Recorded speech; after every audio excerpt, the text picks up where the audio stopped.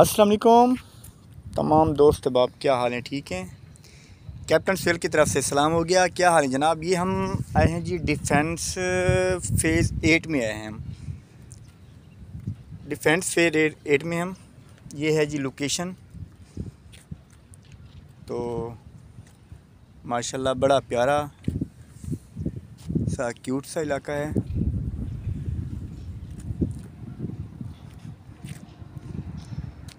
Karachi defence eight ये कहलाता है।